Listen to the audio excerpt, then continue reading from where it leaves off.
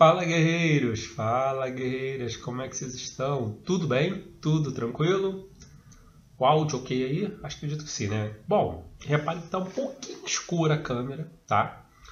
Mas a gente vai fazer assim mesmo, tá? O importante não é ver o Paranaguá, o importante é você ver a resolução, tá bom? É, mas fique tranquilo que vai estar tudo certo, mesmo estando um pouco escuro, mudei um pouco o ambiente, mas tenho certeza que o mais importante é a correção e elas com certeza vocês vão entender, tá bom? Então, vamos lá? Chega mais? Olha essa questãozinha aí. Força elétrica, tá?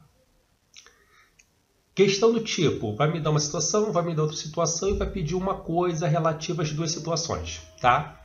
Pô, já a questão que Paranaguá fala, ó, oh, galera, é agora de cobrar questão assim, onde ele dá uma situação, dá uma segunda situação e dá uma coisa comum entre as duas para poder juntar as duas situações. E caiu, tá bom? Então vamos lá. Duas cargas elétricas pontiformes, idênticas, Q1 e Q2, inicialmente estão fixadas no vértice de um retângulo. Então, cadê essa primeira situação? Parar? Essa primeira situação ela está, deixa eu botar aqui, ela está aqui, ó. Tá? Deixa eu mostrar para você, ó. Tem aqui Q1, tem aqui Q2, tá bom? Tá ali em vermelho. Estão fixadas num retângulo. No lado que mede 4 terços de A. Então, ele deu a medida aqui do nosso lado, certo? 4 sobre 3A. O outro lado mede A. Então, beleza. Então, aqui eu tenho A. E aqui eu tenho 4 terços de A. Show? Belezinha. Já sabe para que ele deu isso daí, né? Não foi à toa. E a diagonal D. Então, tá aqui a diagonal D. Conforme mostrado na figura 1. Nessa situação, a intensidade da força de interação eletrostática entre as cargas é dada por F. Então, desse jeito que está, a força de interação entre a carga Q1 e Q2 é igual a F. Então, quem é F? Tá? Vamos colocar aqui, então, essa primeira situação para a gente entender quem é F. Tá? Primeira situação. Vamos ver quem é a primeira situação. Fórmula da força elétrica é o que? K, né? K, Qzão, vezes Qzim, sobre a distância entre elas ao quadrado. O K é o K mesmo, o Qzão é uma das cargas, então vou colocar como sendo Q1. O outro Q é a outra carga, então vai ser o Q2. E a distância entre elas. A distância entre Q1 e Q2 é igual a 4 terços de A. Então, 4A sobre 3 tudo ao quadrado, né? Não pode esquecer disso. Tudo ao quadrado.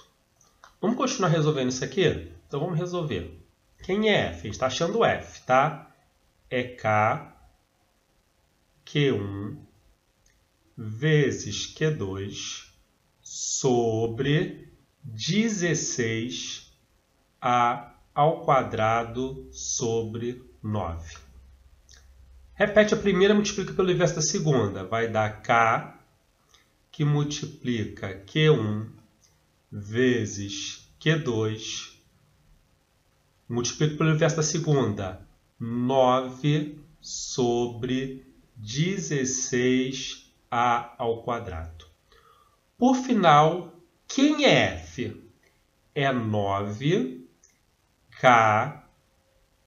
Q1 Q2 sobre 16A ao quadrado. Então, isso aqui eu fiz para poder descobrir quanto que vale F. Esse é o valor de F. Então, essa é a resolução para descobrir o f de acordo com o que ele me deu na primeira situação.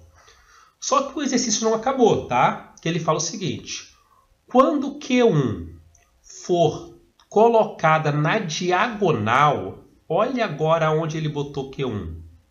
Ele botou Q1 aqui, tá? Ele botou Q1 ali. For colocada na diagonal do retângulo, como mostrado na figura 2, tem-se uma nova força eletrostática de intensidade F'. Agora, a força eletrostática entre Q1 e o Q2 que continuou no mesmo local, a força de interação agora vai ser F'. Assinale a alternativa que apresenta a relação correta entre elas. Então, o que a gente vai fazer agora? Descobrir quanto que vale esse F', tá bom? Então, vamos aqui agora para a nossa segunda situação. A fórmula é a mesma, tá, gente? Então, F' vai ser igual a K. Quem é Q1? Q1 continua sendo Q1. Q2 continua sendo Q2, tá? KQQ. Fórmula do Gagin, né? KQQQ, KQQQ sobre D ao quadrado. Só que D ao quadrado agora é a diagonal. Você tem que descobrir quanto que vale essa diagonal aqui, tá? Vamos descobrir quanto que vale essa diagonal? Como é que a gente vai fazer isso? Através de Pitágoras. D ao quadrado é igual a A ao quadrado mais 4A sobre 3 todo mundo ao quadrado. Então, D ao quadrado, bota aqui no cantinho, vai ser igual a A ao quadrado mais 16 ao quadrado sobre 9. Fazendo essa conta aqui, ó, eu multiplico aqui, depois somo, né? Vai dar 9 ao quadrado mais 16 ao quadrado. 25 a ao quadrado. Não entendeu não? Calma.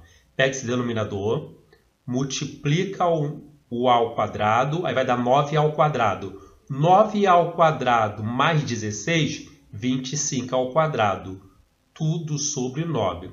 Fazendo isso aqui para não precisar fazer raiz quadrada, né? Bom, logo a gente descobre que D, que está ao quadrado, vai passar para o outro lado raiz quadrada. A raiz quadrada ali 25 vai dar 5, a ao quadrado vai dar A e o 9 vai dar 3. Então, esse D, gente, vale 5A sobre 3. Então, vai entrar aqui na fórmula, ó.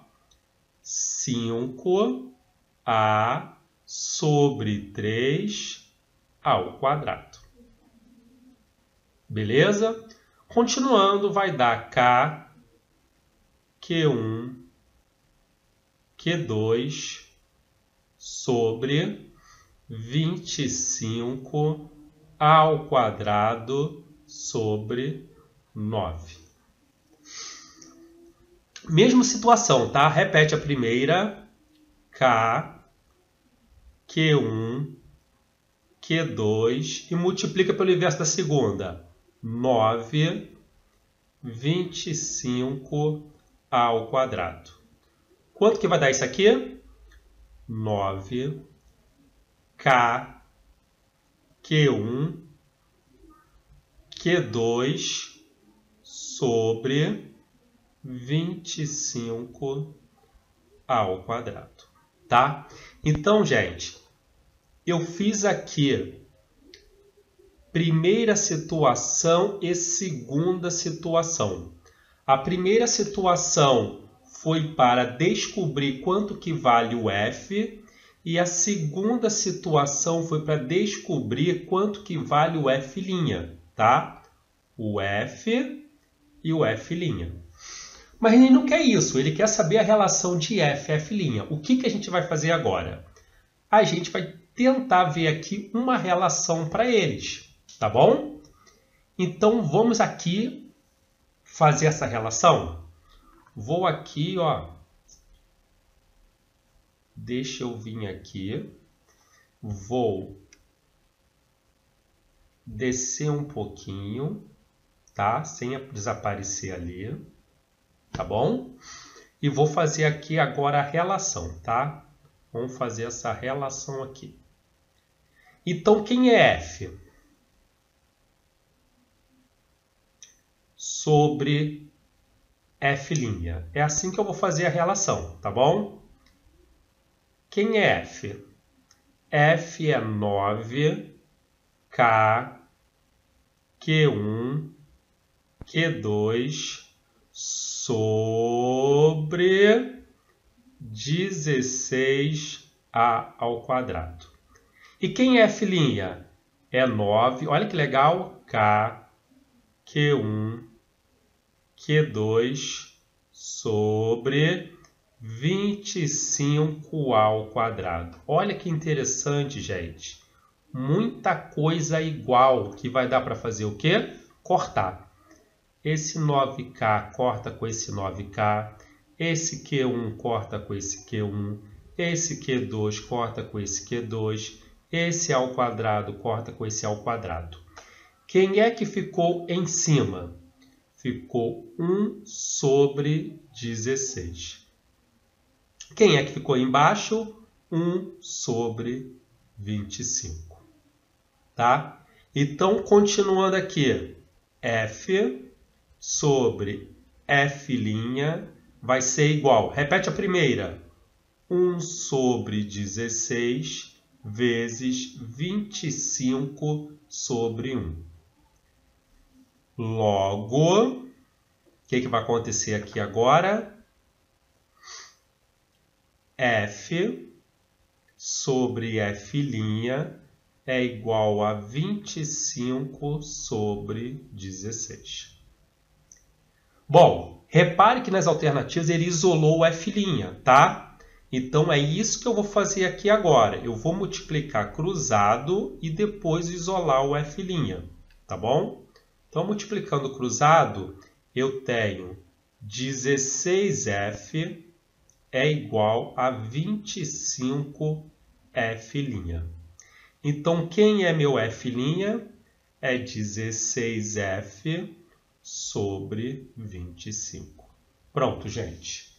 Depois dessa conta toda, a gente descobriu quem é o nosso f'. É 16f sobre 25. Se você reparar, não tem olhando assim a resposta, tá? Mas ela está escondida em algum lugar aqui. Olha a letra A. Olha aqui a letra A. Quem é 4 ao quadrado? 16. Quem é 5 ao quadrado? 25. Ó, 16 em cima, 25 embaixo. Então a resposta certa é letra A, a de aprovação certa de vocês. Tranquilo? Então essa foi a resolução da questão, tá? Bastante conta, mas são fórmulas tranquilas, tá? Tentei fazer aqui de forma detalhada para você entender. Teve esse cálculo aqui também do diâmetro, usando Pitágoras, para você descobrir quanto que vale essa distância em função de A. E depois você fazer a relação, tá? Eu resolvi fazer a relação por razão, mas você poderia também isolar alguém de uma, isolar alguém de outra e fazer a conta também, tá bom? Bom, qualquer dúvida é só mandar mensagem. Só não esqueça que eu estou com você até o final da sua preparação. Mac.